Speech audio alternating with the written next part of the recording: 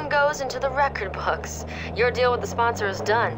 You're free to sign with someone else. Get out there and keep nailing those wins. Dude, you might want to check out the scenery in Coal Harbor. I heard the highway just got cleared up.